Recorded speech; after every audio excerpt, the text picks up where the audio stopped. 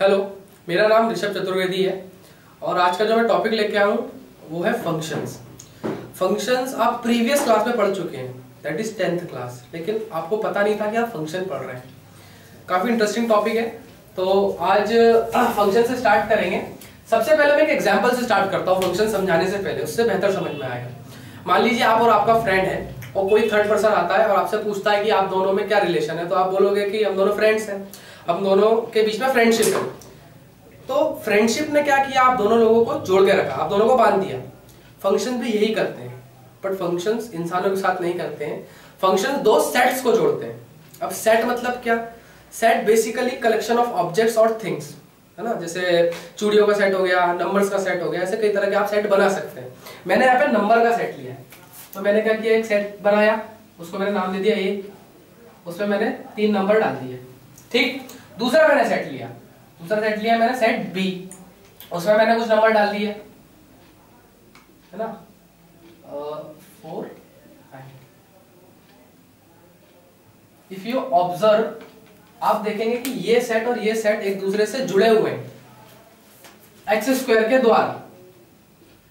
अगर आप ए के एलिमेंट्स का स्क्वायर करेंगे तो बी के एलिमेंट्स मिल रहे हैं। अगर मैं वन का स्क्वायर करूँ तो वन टू का स्क्वायर करूँ तो फोर और थ्री का स्क्वायर करूँ तो नाइन इस कंडीशन में सेट ए और सेट बी दोनों जुड़े हुए हैं एक्स स्क्वायर के द्वारा।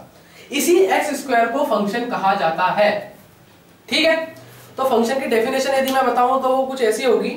If there are two non empty sets minimum दो होने चाहिए, तीन चार भी हो सकते हैं। If there are two non empty sets and if they are related with each other through a rule that rule is known as function है ना? दो नॉन एम्प्टी सेट होने चाहिए। मतलब उनमें कुछ ना कुछ एलिमेंट होने चाहिए, खाली नहीं होने चाहिए।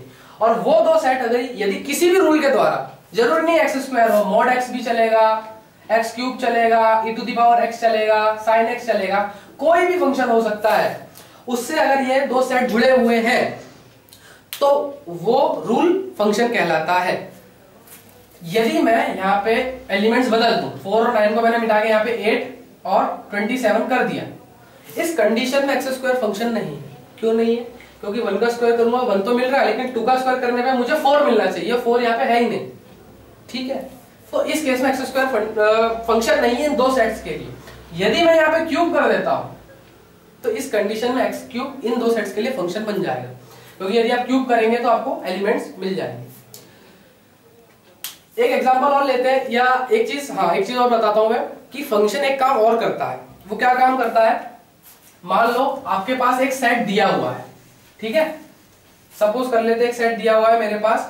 आ, उस सेट में मुझे दे रखे हैं। वन टू थ्री ले लेते हैं चलो।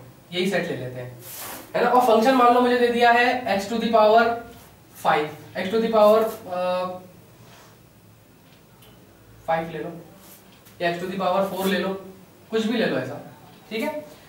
तो function x to the power four दिया और एक सेट दिया है ए तो फ़ंक्शन क्या करता है? मुझे उस सेट से मिलवा देगा जो सेट इससे जुड़ा हुआ है। ठीक है? कैसे? यदि मैं एक्स एक एक एलिमेंट पे मैं फ़ंक्शन लगाऊँगा, है ना? एक एक एलिमेंट पे फ़ंक्शन लगाने का मतलब है कि एक एक एलिमेंट यहाँ पे मैं रखता जाऊँगा। तो वन की पावर फोर कितना हो जाएगा? वन हो जाएगा। तो एक वन आ गया। टू की पावर फोर करूँगा तो कितना हो जाएगा? सिक्सटीन हो जाएगा। और थ्री की पावर फोर करूँगा तो कितना हो जाएगा? एट्टी वन हो जाएगा। ठीक है? तो इन तीनों को मिला के मैंने एक सेट बनाया। वन, सिक्सटीन और एट्टी वन। उसको नाम दे दिया बी तो अब सेट ए और बी जुड़ गए। तो फ़ंक्शन ने क्या किया मुझे? उस सेट से मिलवा दिया, जो सेट इससे जुड़ा हुआ था।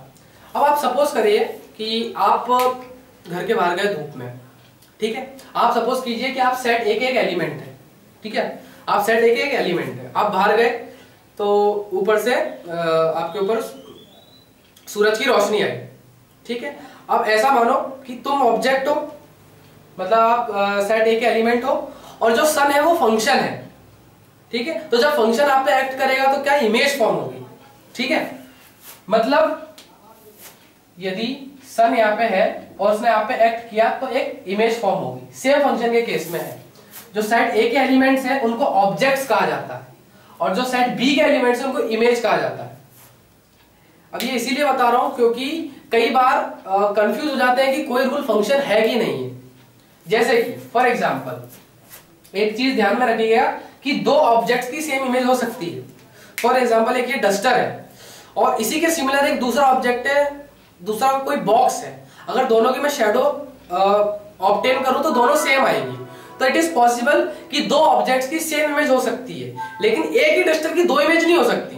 ठीक है? इट इज़ इम्पॉसिबल तो फ़ंक्शन में भी ऐसा ही है. फॉर एग्ज़ाम्पल जैसे अगर यहाँ पे वन है ना? किस, कोई भी एक ऐसा रूल है, जिसमें वन वन से भी रिलेटेड है और वन सिक्सटीन से भी रिलेटेड है तो इस कंडीशन में फ़ंक्शन नहीं होगा. ठीक है? तो आगे का हम कंटिन्यू करेंगे. आज मैंने फ़ंक्शन के बारे में बताया. ऐसे ही फ़ंक्शन के टाइप्स होते हैं और डिटेल में धीरे धीरे करके आगे की सीरीज़ में मैं आपको बताऊँगा. Thank you